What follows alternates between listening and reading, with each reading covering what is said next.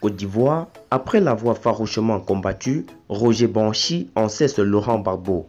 Plus de détails après le générique.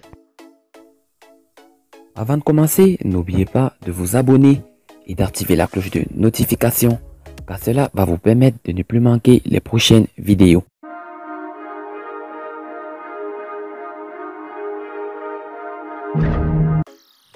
Roger Banchi s'est véritablement mué en pro-Barbeau ces derniers temps. L'ancien ministre issu de la rébellion ne manque aucune occasion pour dresser les lauriers à l'ancien président ivoirien en procès à la Cour pénale internationale. Roger Banchi, son mea culpa à Laurent Barbeau. 19 septembre 2002, un coup d'État manqué contre le régime de Laurent Gbagbo s'est transformé en rébellion armée pour occuper la moitié nord du pays. Aux côtés de Guillaume Soro, l'auteur déclaré de cette rébellion apparaissait un jeune mulâtre du nom de Roger Banchi qui était dans la branche politique de ce mouvement armé.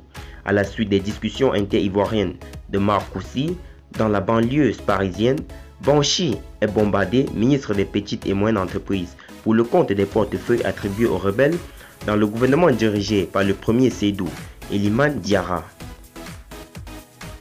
Laurent Babo a par la suite été évincé du pouvoir après une crise post-électorale qui a officiellement fait 3000 morts.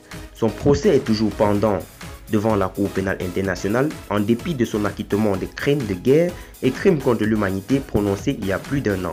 Mais beaucoup d'eau semble avoir roulé sous le pont car plusieurs de ceux qui combattaient l'ex-président Barbeau dans la rébellion lui reconnaissent aujourd'hui une arme de démocrate.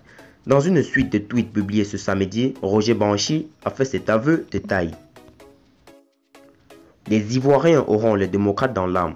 Un homme qui s'est battu pour la démocratie, a souffert de tort fait à la démocratie, a compris le mérite de la démocratie, il s'appelait Laurent Barbeau.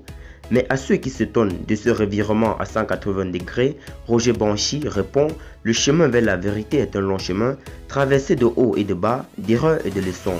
Seul Dieu peut décider qui, au bout de ces leçons, méritera ou non la miséricorde de transformer le mal en bien. C'est un long film, mais le brave doit gagner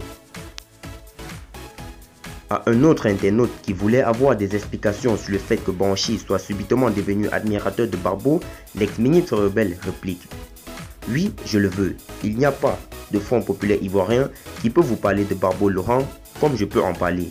Il n'y a pas d'apôtre qui peut parler de Jésus comme Paul le persécuteur des chrétiens. Voyant en Guillaume Soro son ancien compagnon de maquis, des traits de Laurent Barbeau, Roger Banchi appelle ses compatriotes à s'allier derrière le président des générations et peuples solidaires en tant que le nouveau Barbeau.